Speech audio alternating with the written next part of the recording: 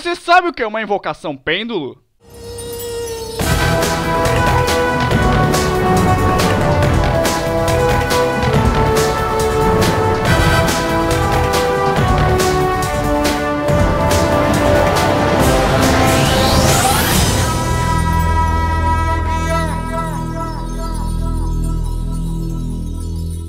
Então, meus queridos cabeças, então no vídeo de hoje eu vou ensinar pra vocês, né, finalmente, depois de muito tempo, como se faz aquela bendita ou maldita invocação pêndulo. Primeiramente eu digo ela não é tão complexa, claro que comparada às demais ela é a mais desenvolvida, que tu trabalha com mais coisas. Eu particularmente não gosto desse tipo de carta, eu acho um pouco apelão isso daqui. Eu tenho uma política de não utilizar esse tipo de carta. O único tipo de carta de pêndulo que eu usaria no futuro era se saísse o suporte pra besta de cristal. Fora isso eu não tenho o um mínimo interesse, a maioria das cartas eu não também não me atrai, tipo assim, nossa, que bicho foda, que seria legal usar, não, tipo, é tudo um conjunto que eu não curto. Mas como tem gente que gosta de usar e como você tem que aprender, né, pra quando você enfrentar você tem que saber como isso funciona, eu vou pôr uma imagem aí na tela que vai ser as escalas. Normalmente as escalas ficam aqui ou aqui, eu, não, eu sempre me esqueço. É isso aí na tela pra vocês, que é aqui onde eu vou botar as escalas de pêndulo. Mas vamos começar aqui. Uma carta pêndulo, você sempre vai ver que vão ser, que tem cristais aqui em cima. Tem a figura do monstro, e daí aqui embaixo, né, tem o ataque, a descrição dele, o efeito dele, e em cima entre a o desenho e o efeito do monstro tem aqui o cristal vermelho do lado direito e o cristal azul do lado esquerdo. Sempre que tiver isso, é uma carta pêndulo. Cartas pêndulos, elas funcionam como mágica e monstro. Primeiramente, se você coloca ela nas escalas aqui, né? Aqui, tipo... Opa... Vai ter as escalas aqui, que você vai pegar e vai botar aqui ou aqui, enfim. No momento que você coloca aqui, ela é considerada uma carta mágica. Ou seja, no momento que eu ativo essa carta aqui, o oponente pode ativar alguma coisa em resposta. Exemplo Dark Bright, que quando o oponente ativa uma carta mágica ou armadilha, ele nega e o oponente compra uma carta. Ou seja, eu poderia ativar isso aqui em resposta a uma ativação de carta pêndulo. A pessoa pode ativar duas escalas, uma aqui e uma aqui. Não tem importância em qual lado você vai ativar, pelo menos até o dia de hoje, né? Eu não sei se no futuro vai mudar alguma coisa.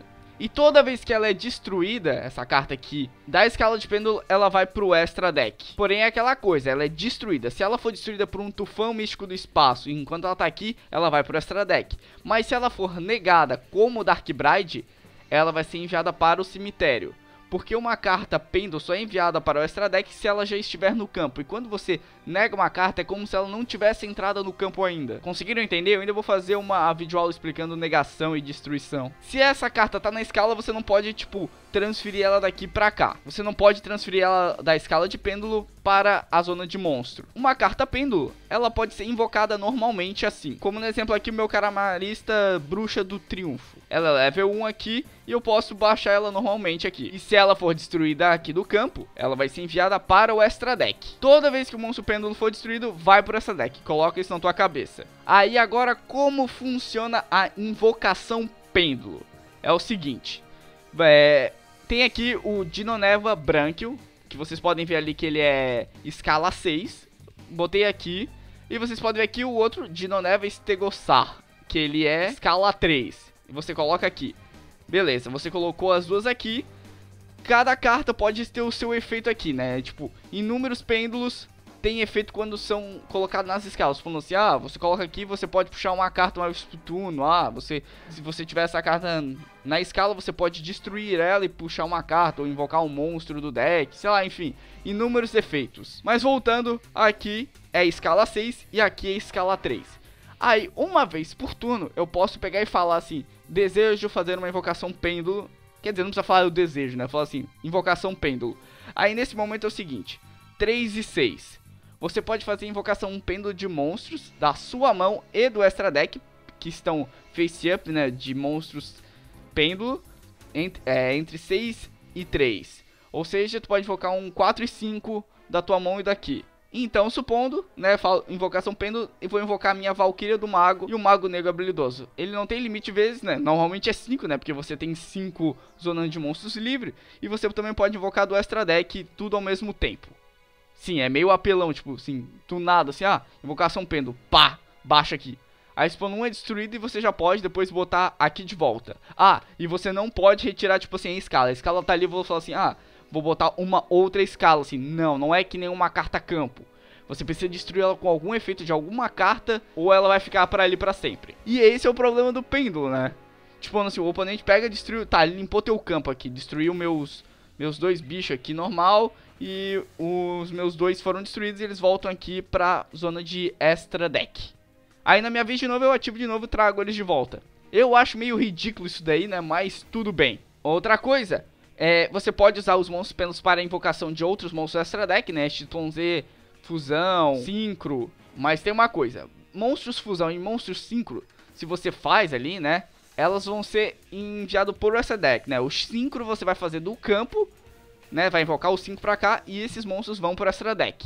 E o monstro de fusão, na real, me desculpem aqui porque eu não tenho uma certeza ainda se o monstro de fusão, quando ele é fundido, ele é enviado pro extra ou pro cemitério. Eu acho que vai pro extra, mas se você faz a, da, se você dá a polimerização da mão, ele vai pro cemitério, porque ele só é considerado monstro pêndulo quando ele estiver no campo, né? Se você descartar ela, ela não vai pro extra deck, ela vai pro cemitério. E os monstros Splon Z, expondo aqui o Dinoneva Plesius e o Stegosaur, eles dois são level 4, né? Eu, eu tenho os dois no campo. Aí eu vou fazer uma invocação X-Z. Quando eu desassocio, eles são enviados automaticamente para o cemitério. Porque eles não são destruídos, nesse caso. Por isso que eu tenho essa dúvida do Syncro e da fusão. Eu não sei se tem uma regra própria que diz que manda pra cá. Então se você souber, né, eu estou aqui perguntando pra vocês, né, pra gente estudar tudo junto. Se eu descobrir depois, eu também coloco em nota do vídeo, no comentário, na descrição, porque é sempre bom a gente trabalhar isso. Outra regra própria que muita gente não conhece, porque tipo assim, ela é uma regra própria, né? Não diz na carta, é a macrocosmo. A macrocosmo é uma carta que quando uma carta é enviada para o cemitério ela é automaticamente banida. Mas uma carta pêndulo, né, quando é destruída ela é enviada para o extra deck. Só que essa regra não é aplicada a macrocosmo. Se a se a carta pêndulo é destruída, ela vai ser banida automaticamente, mesmo ela não sendo enviada para o cemitério. Então fiquem ligados nisso. Então eu acho que é isso, eu não tenho certeza, porque é tipo é muita coisa que Pêndulo tem. Eu espero que eu tenha falado tudo, porque normalmente não faço um roteiro para esse tipo de vídeo, eu vou meio que lembrando que eu sei e vou indo. De vez em quando eu anoto, né? Mas é isso, eu expliquei escalas, né, que elas são consideradas cartas mágicas, você pode invocar monstros pêndulo do extra deck ou da sua mão. Se eles forem destruídos, eles vão para o extra deck. Quando eles são usados para XYZ, eles são automaticamente enviados para o cemitério, porque os monstros XYZ eles não estão sendo considerados que eles estão no campo. Então eu acho que é isso. Se faltou alguma coisa, eu vou tentar responder nos comentários, ou a galera vai tentar responder nos comentários. Ou eu poderia também fazer algum vídeo, né, quem sabe, para vocês tirando dúvidas do Yu-Gi-Oh! Eu pegar algumas perguntas de vocês e tentar explicar aqui no vídeo. Acho que poderia ser interessante. Depois seguiremos para a nossa saga de cartas armadilhas. E depois dessas... Depois que a gente aprender todo esse tipo de carta, nós iremos então para as coisas mais específicas. Eu quero fazer um vídeo falando sobre os deuses egípcios. Tem várias coisas ainda que dá pra falar. Eu só não trago vídeo toda semana, senão fica muito massivo de aula. Então às vezes eu dou um tempinho e tal. Eu espero que vocês entendam. E é isso aí, se puder deixar aquele like aí embaixo para ajudar. Se inscrever caso você é novo no canal, comente aí alguma dúvida ou sugestão de aula. E é isso aí, se cuidem, um grande abraço do cabeça aí. Falou e até a próxima aula.